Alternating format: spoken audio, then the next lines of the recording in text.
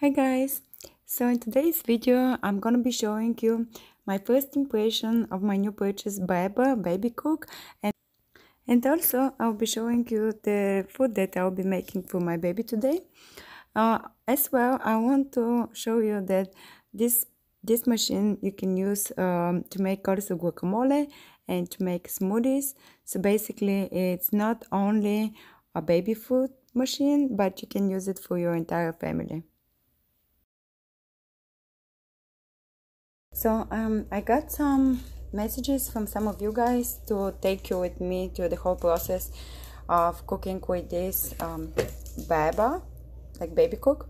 So um, yesterday what I did is I did read a lot of um, the instructions like instruction manual that came with. And also I watched some YouTube videos that the company had online. Um, so they said all of them they said that um, I had to disinfect the machine first. So I did three cycles on level 3 like uh, you can see here level 3 and you just run uh, three cooking cycles 20 minutes each and then uh, you can use the machine. So after that you wash everything and then you can use it. So now i'm gonna do apple puree and this is uh, two apples sliced and i'm gonna put water here. And for apples um, you do up to so when you're done with the water you just put this inside. Make sure you lock it.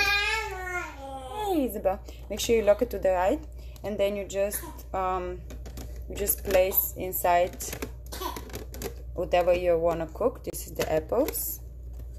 Okay and then there is a double lock. Make sure that you press it. Make sure it's all locked. And you just turn it on. And you just press this for steam. And now we're gonna steam the apples for 20 minutes. And after 20 minutes I'm gonna come back and I'm gonna show you what we're gonna do next.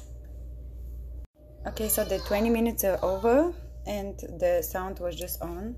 So we come back here. We open it. And it's very steaming hot as you can see. Um, there's this spatula thing here so you just need to use it. You can take the um, apples out. Whoops and actually I saw in the videos that they were recommending using this juice because it has uh, nutritions inside.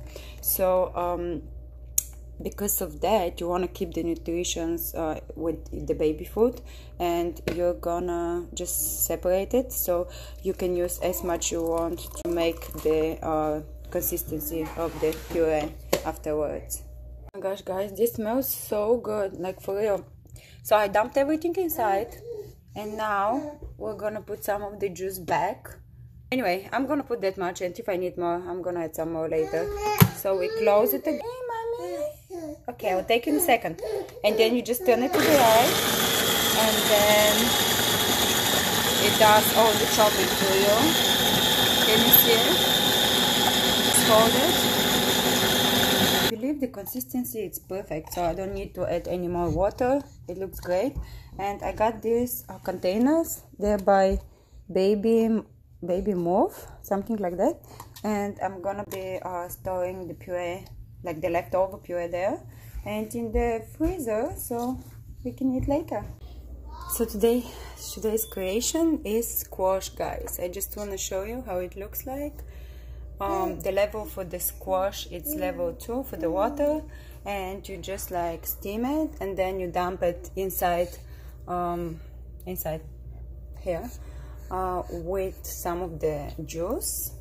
Like this is the leftover juice. And then you just press again the, the grinder. Um, let me see I'm holding the baby with one hand so you just press the grinder on to this side. Let me show you. Just press it this way and this grinds the baby food and oh. it's ready. It's very fresh and yummy baby food. Yeah ah. you cannot get more fresh than that. I hope you guys enjoyed the video and if you did please don't forget to like and subscribe. Bye. See you soon